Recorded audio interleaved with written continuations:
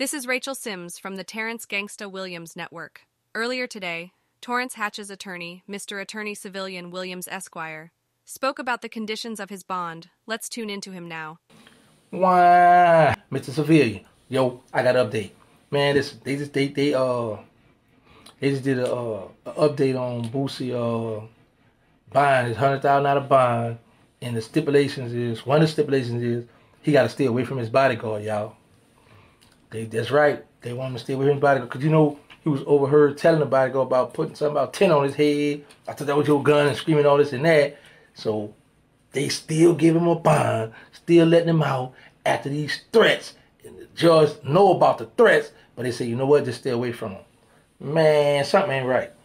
I'm getting word that Boosie went on live several hours ago, and here's what he had to say. Let's listen in. He's back! I won't thank God. I got chairs on my knees, I praise him. My family, all the prayer warriors, everybody who came to San Diego to support me. Yeah, Boosie Boo. Yeah. BT, I need three tickets. I go to BT Award, but I gotta go with my attorneys. Badass. That's me. That's me, badass. That's me, nigga. I'm out. That's me. Let me get a picture. Boosie Boo! I'm back. I'm back. That's me.